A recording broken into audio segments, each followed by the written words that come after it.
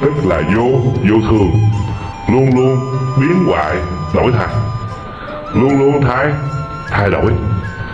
Và cái pháp này, chúng ta phải như chân như thật. Hiểu bằng trí tuệ. Được gọi là vô thượng, thường quán. Ở trong các cái pháp quán, nhà Phật có dạy chúng ta phải thường xuyên quán niệm về vô vô thường. Ai mà thường xuyên quán niệm về vô thường? Thì người đó sẽ không sợ vô vô thường. Còn nếu không chúng ta rất sợ vô thường. Mà vô thường ở đây là một cái đặc tính pháp bản chất của thế gian. Nó phải là như như vậy. Hãy sanh ra thì tất nhiên phải có có gì? Giống như câu uh, kinh dạy rằng là chư pháp tùng duyên sanh diệt pháp tùng duyên diệt. Cái sự sanh diệt là cái bản chất thật của thế thế gian mà người tu chúng ta cần phải thường xuyên quán để thấy rõ được nó thế gian quyển cảnh có rồi không? Tiền của công danh giới sắc hồng. Sưng tươi rồi đến ngày thu rụng. Ai biết được kia thức tỉnh lòng cái người nào mà thường xuyên quá là vô thường, thấy được cái sự bất tồn ngoại diệt đổi thai kính thưa quý vị, nhờ cái pháp này mà người đó sẽ ngộ được chân chân lý còn bình thường chúng ta không ngộ được chân lý, chúng ta sẽ bị cái pháp vô thường này làm cho khổ khổ đau. Chúng tôi xin được kể một câu chuyện của vị tỳ khu tên là Bát Tát Chara thời Đức Phật có vị tỳ khu tên là Bát Tát Chara trở thành một cái vị tỳ khu ni, cũng nằm trong những ờ, vị ờ, đại đệ tử của Đức Phật. Cái vị tỳ khu ni này xuất thân từ một cái gia đình vô cùng là khó khăn và khổ sở và cuộc đời của vị tỳ khu ni này trước khi xuất gia đó, cái vị tỳ khu ni này cũng vấp phải nhiều cái sự nghiệt ngã của cuộc đời. Đầu tiên, vị tỳ khu ni này là một cô thiếu nữ được sinh ra trong một gia đình bình thường, lớn lên được một cái dương ờ, một vị dương tôn công tử cưới và làm vợ.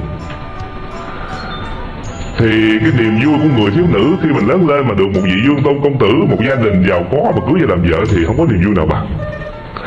Nhưng mà khổ cái cái niềm vui này khi cưới về chưa được bao lâu thì bắt đầu nỗi buồn nó đến là vì cô ta không có thể sanh được con.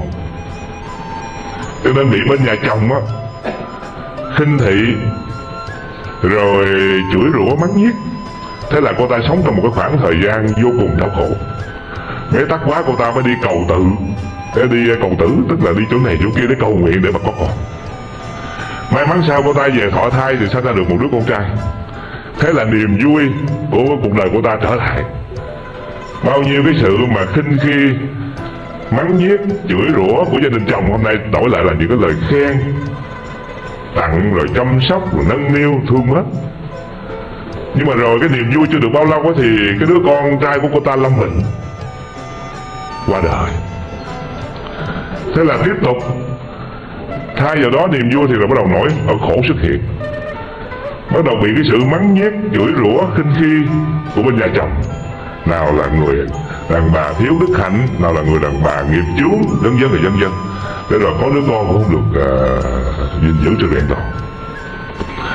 Thế là cô ta kính thưa quý vị mong cái đứa con này đi lang thang mong là gặp được một cái vị uh, thầy thuốc nào đó tài ba để mà cứu đứa con này cô ta vừa đau khổ vì mất đứa con và lại vừa đau khổ trong cái hoàn cảnh gia đình người chồng. Mắng nhét miệt thị vậy nữa cho nên cô ta buồn bã giống như người điên vậy. Giác đứa bế đứa con trên tay đi ra đường đi lang thang gặp hết người này hỏi người kia hỏi. Nhiều người thương hại bây giờ đứa con đã chết rồi. Có nhiều người thương hại thấy cái, cái tâm trạng của ta quá đau khổ như vậy cho nên mới chỉ đến chùa kỳ viên tịnh xá gặp đức phật.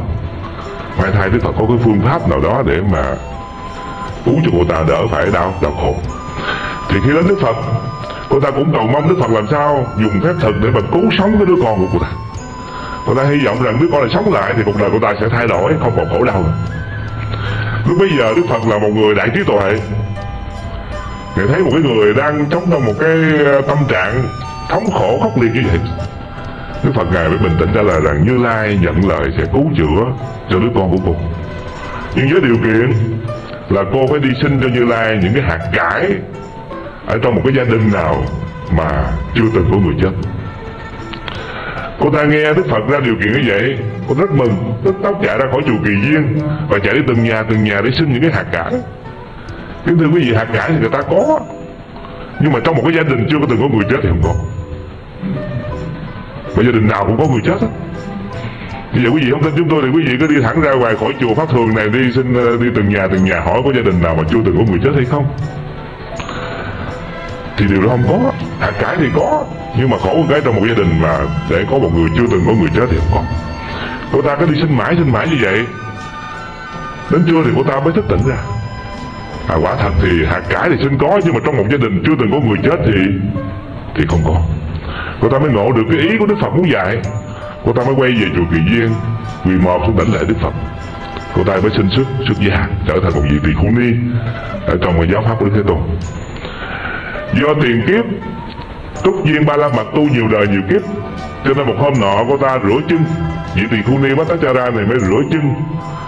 Ở một cái hồ sen, thì những cái giọt nước trên chân cô ta mới rơi xuống mặt hồ và tan ra. Từng giọt rơi xuống tan ra, từng giọt rơi xuống tan ra. Cô ta mới quán về cái pháp vô thường. Tụ rồi tan, sanh rồi diệt, đến rồi đi. Dần dần cô ta quán về cái pháp vô thường lúc bấy giờ đức phật ngài ở tại chùa kỳ duyên ngài phóng hào quang ra ngài mới dạy cho cô ta một câu, câu kinh như thế này là sáp bê sankhara anicca nghĩa của câu ờ, phật ngôn này là chư hành là vô vô thường. Sáp bê là tất cả sankhara là hành. Anicca là vô thường. Các pháp hữu vi là vô thường. Cái nghĩa của nó vậy hay, hay gọi là chư hành là vô thường. Các pháp hữu vi là vô vô thường thì lúc bấy giờ cô ta mới liễu ngộ được ý của đức phật và chứng đắc được đạo đạo quả do nhờ cái túc duyên ba la mật tu nhiều đời nhiều nhiều kiếp. Như vậy, khi qua câu chuyện này chúng ta thấy, nếu mà quán về cái pháp vô thường thường xuyên, thì nó cũng sẽ trao dồi thêm cái ba la mật tu tập của chúng ta trong đời này để dung bồi một kiếp nào đó chúng ta gặp được đức phật. Mai thai đức phật cũng giảng cái câu pháp này mà chúng ta ngộ ngộ được đạo. Do nhờ cái ấn chứng thứ nhất, tức là vô thường thường quan. Chúng ta thường suy nghĩ vô thường bằng cái người có trí tuệ. Thì kính thưa quý vị, cái người này sẽ giải thoát trong tương tương lai. Ở câu kinh pháp cú khác, đức phật dạy thế này.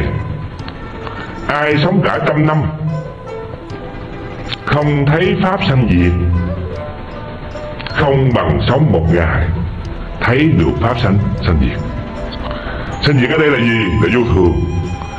Cho nên cái bản chất thứ nhất của thế gian là upani yati logo atuvoti thế gian là bất tồn đưa đến chỗ hoại diệt. Chúng ta cũng thấy vô thường, nhưng mà chúng ta thấy bằng cái tâm gì? Sầu bi khổ nào nghe nói mình già, cái là mình thấy buồn rồi. Mất tiền của tài sản là chúng ta thấy cảm thấy đau khổ rồi. Chúng ta cũng thấy được cái sự biến hoại đổi thay bất tồn của cuộc đời này. Nhưng chúng ta thấy bằng cái tâm gì nè? Sầu bi khổ nào. Bằng chứng là chúng ta còn dính mắc đấm nhiễm trong cái thế gian này. Chúng ta còn tiếc cái thân này. Còn tiếc cái cái cái của cái thân này. Và tiếc luôn cái tự ngã của cái thân này. Vì vậy trong một câu kinh khác, pháp cứu đức phật có dạy là, con ta tài sản đây là người ngu nghĩ thế nhưng mà có chi. Chính thân còn chẳng có gì, huống là sự nghiệp còn chi của mình